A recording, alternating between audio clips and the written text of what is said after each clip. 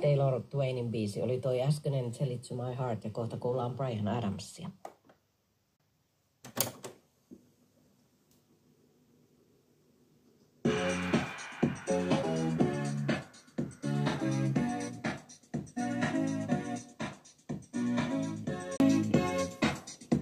thank you